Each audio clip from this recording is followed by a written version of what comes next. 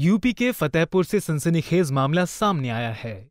घटना ओती गाँव की है, जहाँ कुछ अपराधियों ने एक युवक की धारदार हथियारों से हमला कर मौत के घाट उतार दिया और शव को खेत में फेंक कर फरार हो गए। खेत में गए हुए कुछ किसानों ने शव को देखा तो हत्या की जानकारी परिजनों को दी, जिससे परिजनों में सनसनी फैल गई। बताया जा रहा है कि युवक अपने मामा के घर से वापस आ रहा था, तभी बदमाशों ने उसको मौत के घाट उतार दिया। वो बाहर से आ रहा था अपने मामा के यहाँ से। तो रास्ते में जो है लोगों ने पकड़ के दो चार लोग पकड़ के उसको जो है बर्छी से मार डाला। है क्या को, कोई रंजिश क्या उनकी कोई रंजिश नहीं थी। हमारा एक थोड़ा सा रास्ता का विवाद था वही चल रहा था। हो सकता है। वहीं परिजनों की सूचना पर मौके पर पहुँची पुलिस ने शव को कब्जे में लेकर पोस्टमार्टम के लिए भेजा।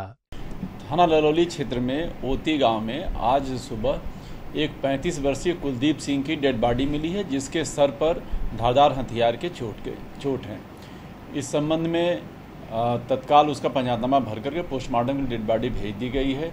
परिजनों से जो हम लोग को जानकारी मिली है कि व्यक्ति मानसिक रूप से विक्षिप्त था, बीमार था, इसका मानसिक इलाज चल रहा था, और ये गांजे आदि के नशे का आदि था। तो इस संबंध में पूरी छानबीन की जा रही है। जो परिजन द्वारा जो तहरीर दी जा रही है, उस पर अभियोग पंजीकृत करके और विधिक कार्रवाई की जाएगी। युवक की मौत के बाद परिजनों में मातम पसरा हुआ है। फ़िलहाल पुलिस मामले की जाँच कर अपराधियों का पता लगाने में जुट गई है। पंजाब केसरी टीवी के लिए फतेहपुर से नितेश श्रीवास्तव की रिपोर्ट।